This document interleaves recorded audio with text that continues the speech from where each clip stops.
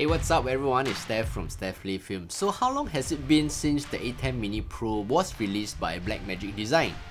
It was released in July 2020 and so now it's been about 4 months and of course, in between there was the release of the ISO model as well.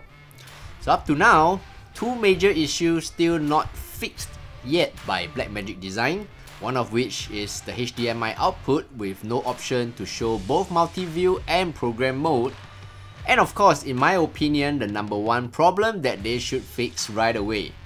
The ability, or should I say the inability to record using the USB-C port once it is taken up by using the ATEM Mini as a webcam function.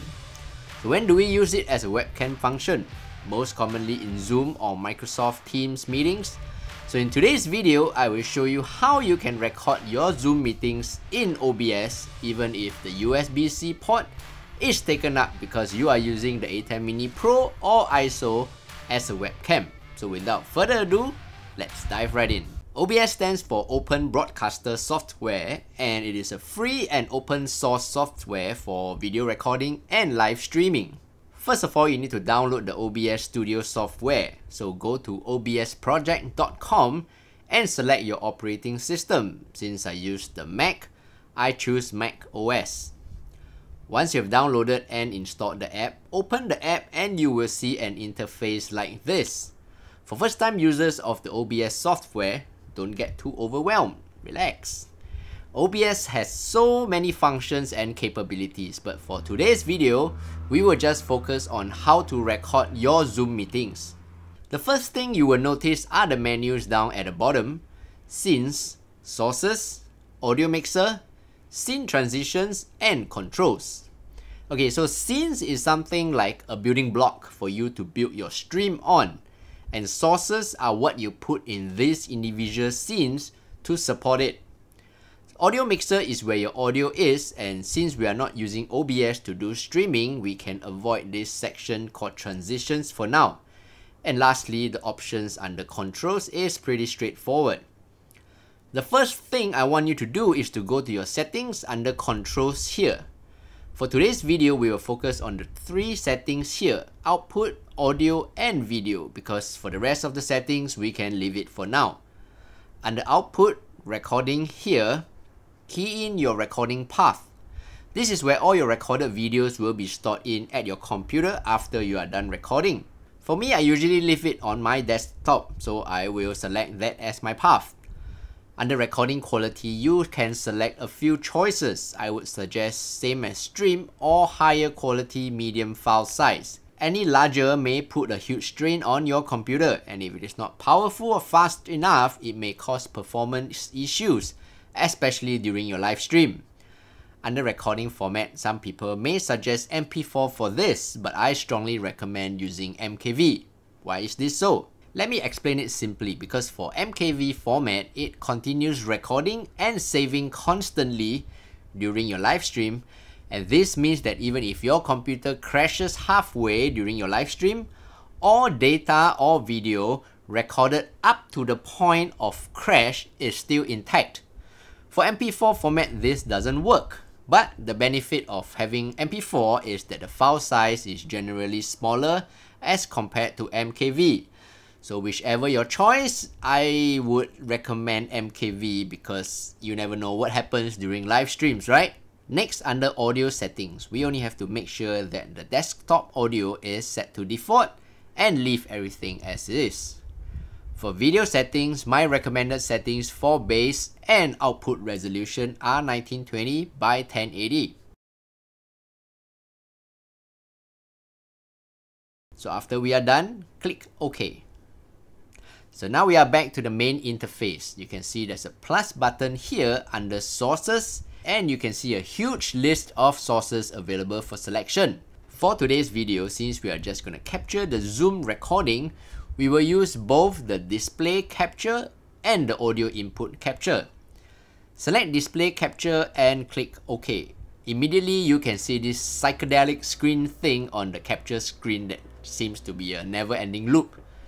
Without trying to be too technical, it is simply actually a screen capture of a screen capture of a screen capture. and never ending. That is why you see this never ending sort of a window that gets smaller and smaller. But for now, don't get too mesmerized. Focus on the red box at the edge here. You will need to resize it so that you can see the full screen of your laptop in your recording setting. So how do you do this? You resize this red box by putting your mouse cursor on the top left and you can see that your cursor turns into this double arrow little icon here. Then resize the window accordingly such that you can see your entire laptop screen in this window and then you are good to go. Now we've got our display captured nicely in this box here. So next up is to ensure that we have audio as well because previously we are only capturing the display. So back to our main interface under sources, we can go to this plus icon here again and we add another source called the audio input capture. Click OK. Make sure you have it selected as default and click OK. You will see that now under audio mixer, it has changed to audio input capture. So now we have both the display capture and the audio input capture properly set up. Let's head over to our Zoom meeting. So as you can see for today, our simple example, we will just use source 1 which is connected to our camera here and the USB-C port from the ATEM Mini Pro or ISO connected to our laptop in which doing so, it makes our ATEM Mini Pro or ISO function as a webcam. I explained about this a little bit more in one of my previous videos. If you haven't checked it out, you can check it out here. Boot up the ATEM Mini Pro and wait for the connection between your laptop and the ATEM Mini Pro. Once connected, you can start up your Zoom meeting or enter any Zoom meeting as a participant. The default here that you should see should be the FaceTime HD camera, which refers to the built-in camera on my MacBook. But you can select your ATEM Mini Pro here by choosing Blackmagic Design. So go back to your OBS and under controls here, click on start recording. You will see the REC timer here start recording. So go back to your Zoom meeting, maximize the screen and enjoy your Zoom meeting.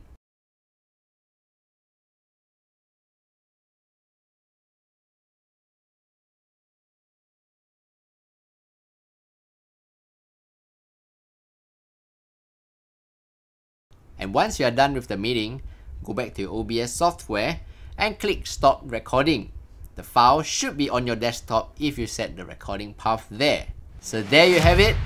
Using OBS to record your Zoom meetings while using the ATEM Mini Pro or ISO as a webcam. For me, I personally feel that that is not the best solution as you are putting additional strain on your laptop or your PC and may possibly cause issues during your live streaming such as slowing your computer down because on one side it is doing a constant recording and on the other side it is trying to do live streaming. Potential issues that may occur may be your computer hanging up due to the memory of being used or your stream just lagging very slowly. I don't know, maybe it's just me, but until Blackmagic Design releases a new firmware or a new version of the ATEM Mini Pro with a double USB-C port I guess that is all we have to work with now if we can't use the USB-C port for recording when we are using the ATEM Mini Pro as a webcam. Before I end this video, I would like to say it really means a lot to me if you found any of the information I shared today useful and if you can give this video a like. So it encourages me to continue making such videos for you. If you have any comments, do feel free to leave them below so I can work on my future video content to bring you something that you like. If you want to learn more about photography and videography on my channel, don't forget to subscribe and click on the notification bell. And of course, in the meantime, check out two of my other videos here. And as always, if you have any questions, please let me know.